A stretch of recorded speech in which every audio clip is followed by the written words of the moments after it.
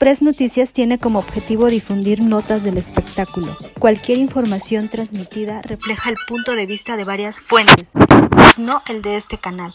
Se recomienda discreción del espectador. El día de ayer comenzó la semana 15 de esta aventura, luego de que en el marco del duelo de extinción del domingo pasado, las llenas hicieran notar que dominan plenamente la tribu jaguar y que la pobre de Cintia estaría sola al menos por una semana luego de que Ale salvara con el tótem de resurrección a Gary, los halcones sabían que su tribu rival estaría más fuerte que nunca, pero no contaban con la ayuda que tendrían de parte de la producción. Y es que los fans de Survivor no se explican cómo es que una trampa tan obvia no pudo ser sancionada por Warrior, máxima autoridad de esta competencia, ¿no lo creen? Y es que la batalla por los suministros de ayer tendría a tres integrantes de cada tribu con los ojos tapados, recorriendo un circuito en donde debían de tomar algunos pequeños sacos antes de llegar a una zona de tiro, en donde aún con los ojos vendados debían superar una estructura y encestar en unas canastas.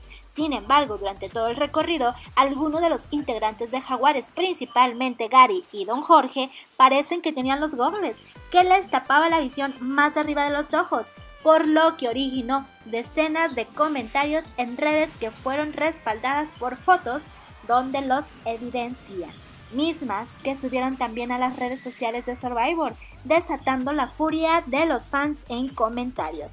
Cabe mencionar que los jaguares dominaron en esta prueba por los suministros, venciendo 4 a 0 a sus similares de halcones, quienes tendrían un duro inicio de semana 15 de Survivor, al perder también la gran recompensa de una noche italiana. Tendrán consecuencias los de amarillo por haber hecho trampa o la producción se quedará con los brazos cruzados. ¿Ustedes qué dicen? Hasta aquí la nota. No olviden dejarnos sus opiniones aquí abajito. Activa tu campanita para cada vez que realice un video te llegará notificación y suscríbete.